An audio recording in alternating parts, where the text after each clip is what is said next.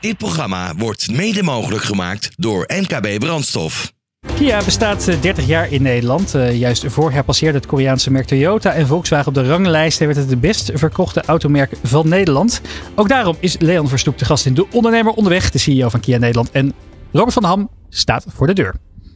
En zo is het Remy, want het is inderdaad feest. In ieder geval feest in Breukelen. Kia 30 jaar. Maar bovenal ook vorig jaar de nummer 1 in Nederland geworden. En dus alle reden om de CEO, om de president van Kia Nederland, Leon Verstoep, vandaag uit te nodigen in de ondernemer onderweg. Leon, welkom. Um, juist vorig jaar, dat jaar vlak voor dat 30-jarig jubileum, ineens, niet ineens natuurlijk, maar wel die plek nummer 1 na Volkswagen, na Toyota, Kia op 1. Nou, met je hele werkende leven, je carrière bij Kia, daar moet een taart met slagroom en een flesje open gegaan zijn. Nou, inderdaad. Dus uh, trots hè, paste daarbij bij deze uh, prijs. Uh, ik ben niet heel mijn leven bij Kia werkzaam. Hè. Ik heb natuurlijk ook nog wel andere heren en dames gediend. Maar het was wel een hele mooie prestatie voor het werk wat in de afgelopen jaren is, is geleverd. 2021 waren we het net niet. Toen noemden we ons de morele winnaar. omdat een ander merk nog op de laatste dag nog heel veel auto's, laten we zeggen, registreren. Dat was zuur. Maar het was nu wel extra zoet. Omdat het toch de afstand tot de nummer 2 en 3 significant was. En ja, nu is het wel zaak om dit te bestendigen. Want ja, Volkswagen, je noemde het merk net al, is natuurlijk vrij lang nummer 1 geweest. En daarvoor Opel natuurlijk, en nog langer.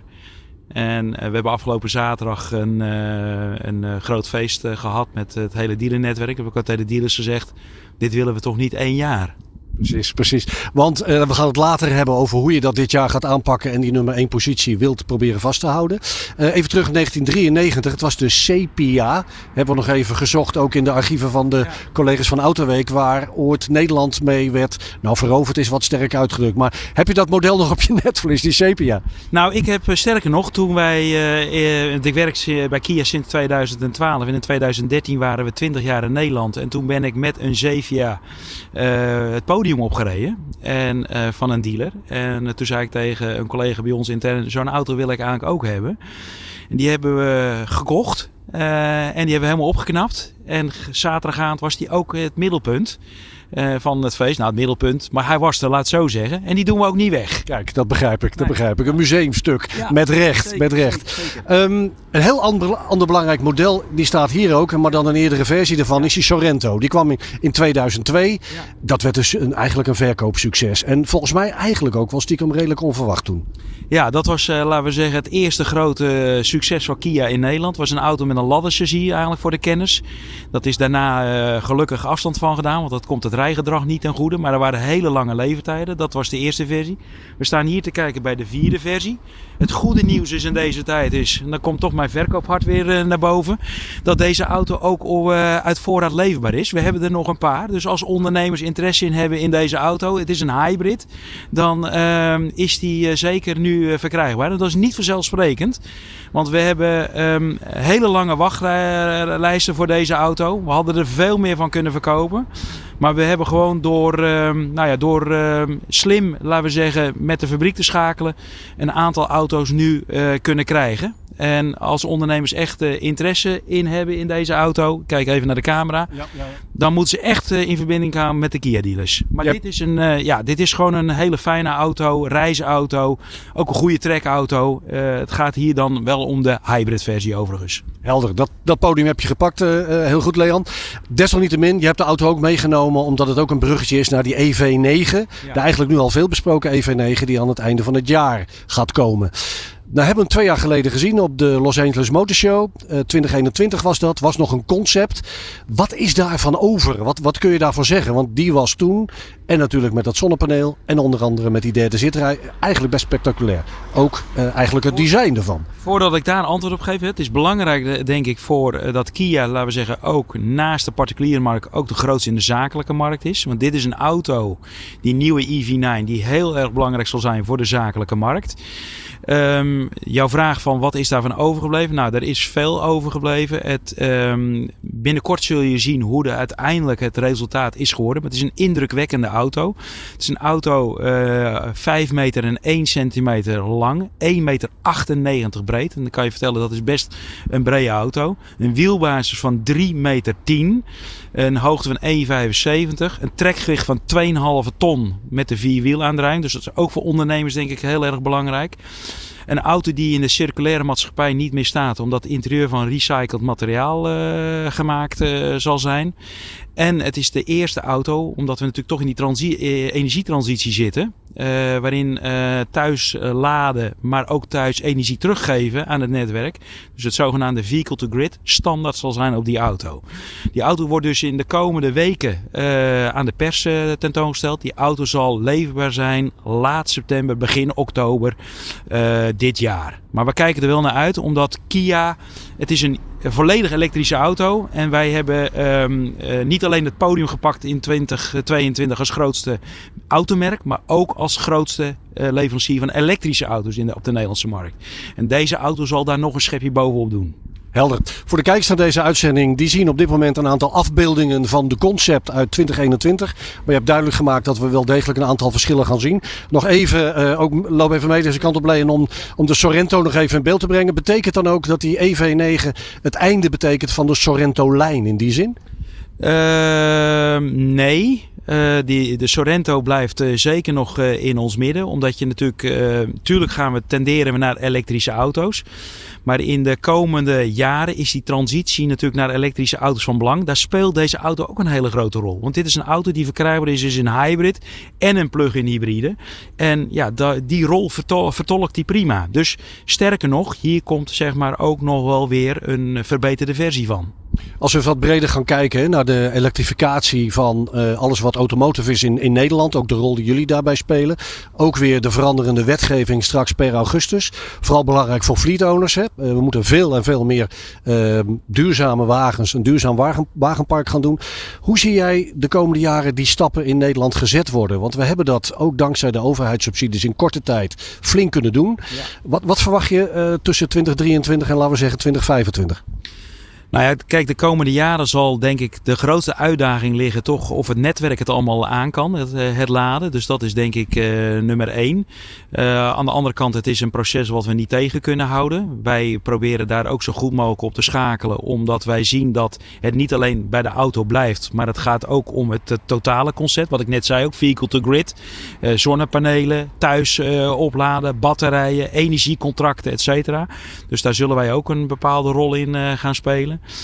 Um, ja, ik, uh, als ik naar de totale markt uh, kijk, dan uh, denk ik dat elektrische auto's door de particulieren ook wel omarmd gaan worden. Dan is het ook wel zaak natuurlijk dat we ook naar beneden gaan in het gamma. En dat is ook goed dat Kia in alle segmenten vertegenwoordigd gaat worden van elektrische auto's. Hè? Dat we niet denken, oh, ze komen zo meteen weer met een hele grote bak. Waar blijven die kleine auto's? Ja, die komen ook omdat wij zien is dat eh, Henk en Ingrid, om het zo maar te zeggen, ook laten we zeggen, recht hebben op een elektrische auto. Maar, een, een betaalbare auto, Leon. Uh, ja, maar we moeten ons wel vergewissen dat uh, door uh, de grondstofproblematiek in de wereld. elektrische auto's niet goedkoop zullen zijn. Hè? We, zullen, we hebben altijd gedacht dat omstreeks de 2023, 2024 een auto met een verbrandingsmotor en een elektrische auto elkaar zouden kruisen in total cost of ownership. Uh, dat schuift misschien wel wat op naar achteren, omdat de, de grondstofprijzen natuurlijk ook uh, gigantisch uh, stijgen. Nou, nou hebben we natuurlijk wel concurrentie, ook uit China, die we zeker niet zullen onderschatten. Uh, maar het is wel een duurdere vorm van autorijden. Dus uh, allerlei uh, vormen van autodelen of uh, carsharing of nou, private lease constructies of financieringsconstructies zullen ook belangrijk blijven en worden nog wel belangrijker om naar de toekomst om iedereen wel mobiel te, te, te houden. Nou zijn jullie ook, met name jullie de afgelopen jaren, erg onderscheidend geweest in design. En die EV9 die, die belooft ook weer heel veel goeds. Um, je hoort veel meer om je heen die grijze massa. Het lijkt allemaal op elkaar. In hoeverre blijft Kia daar juist ook op inzetten om ook uh, los van al die andere aankoopargumenten om inderdaad naar merk A of B te willen, dat design zo onder uh, de vergrootklasse blijven laten leggen? Ja, Kia heeft inderdaad uh, onderscheidend design gehad door Pieter Schrij de afgelopen jaar. We hebben natuurlijk nu Karim Habib uh, als uh, chef designer, ooit afkomstig van, van BMW gekomen. Ik durf te stellen dat met de, nieuwe Sportage, maar ook de nieuwe Niro, dat er een nieuwe designstrategie is ingezet. Ook de EV6. Ja, goed, mensen hebben net kunnen zien hoe die EV9 eruit ziet. Nou zal dat wel in de praktijk toch wel iets anders er nog uitzien. Maar grote lijnen komt dat er wel over neer. Ja, ik denk dat dat wel onderscheidend design is. Of iedereen dat leuk vindt, is weer een tweede. Maar ik denk wel dat wij onderscheidend zijn. Deze auto is ook onderscheidend. Maar als je kijkt naar de, de C-stijl, dan is dat wel een kenmerk van de Sorento. Dus het is wel belangrijk om de filosofie van Kia wel overeind te houden en herkenbaar te houden. Dan de Picanto, over design en tijdloos gesproken. Voor eeuwig op, op, op één, nog steeds bij jullie natuurlijk ook nog steeds het best verkochte model.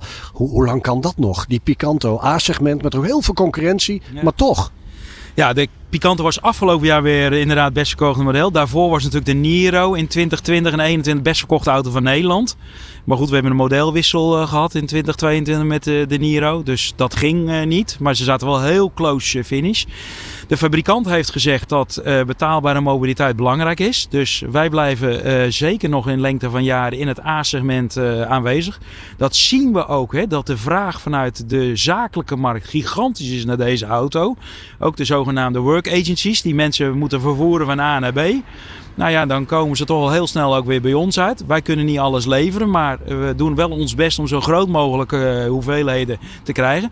Deze auto blijft in lengte nog van jaren in ons gamma. Want deze auto wordt zelfs Euro 7 proof. En dat is vanaf 1 januari 25 het, uh, het geval. Uh, dus er wordt nog geïnvesteerd in de Picanto. Om hem de komende jaren in onze line-up te, te houden. En sterker nog, hij krijgt ook nog een behoorlijke makeover uh, einde van dit jaar, begin volgend jaar. Kijk, kijk. Leon, je vertelde net al, eigenlijk je bent je hele werkende leven in de automotive werkzaam. Laatste jaar bij Kia inmiddels ook de CEO-president van Kia Nederland. Daarvoor was je de managing director. Toen je begon was je uh, de baas van een automerk, nu van een mobiliteitsprovider. Ik heb je dat woord zelf ook horen gebruiken. Dat hadden we, nou laten we zeggen, een paar, paar jaar, een jaar of dertig geleden ook nog durven denken. Mobiliteitsprovider. Misschien voor de kijker en de luisteraar, waar moet ik dan nog meer aan denken? Daarbij alles dan alleen op vier wielen. Nou ja, wat ik net uh, zei, hè, dus het is uh, te maken met uh, die transitie, die energietransitie. Dus thuis alles verzorgen, ontzorgen, de auto als batterij fungeren, de zonnepanelen op het dak. Welke rol kunnen we daarin spelen? Ehm, de energiecontracten die kunnen daar een rol in spelen. Ja, en ik denk als we heel erg ver naar de toekomst kijken, hoe zit het dan bijvoorbeeld met de last mile? En hoe gaan we dan om? En kunnen dealers daar een rol in spelen om als hub te fungeren naar, uh, naar, uh, naar het stadscentrum toe. Dus ja, uh, er staat denk ik heel veel nog te gebeuren de komende jaren. Absoluut, het understatement van de dag. Zou ik bijna zeggen, Leon, we kijken uit naar de EV9 eind van het jaar. Ik stel voor, die parkeren we dan hier bij de radiofabriek in Hilversum weer voor de deur. Laten we dat afspreken. ik kom graag, dat, maar dat weet jij. Bij deze. We gaan terug naar Remy in de studio.